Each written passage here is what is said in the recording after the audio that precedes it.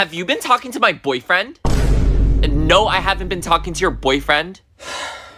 Your boyfriend's been talking to me! Excuse me? Why would he be talking to you? You look like a mess. And you look like you're balding with that missing hairline. The only thing missing is your dad, and that's why you're such a home wrecker.